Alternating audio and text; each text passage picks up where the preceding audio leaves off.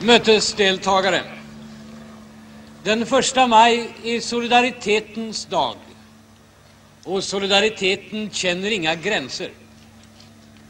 Den blir nära och påträngande i en värld där människor lever i förtryck och förföljelse, i svält och elände.